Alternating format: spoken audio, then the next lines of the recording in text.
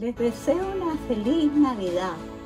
A todos mis hijos los quiero mucho, a los nietos y los bisnietos. Que disfruten ahora que ya ha pasado el tiempo de la pandemia, podemos disfrutar en paz y amor. Feliz Navidad.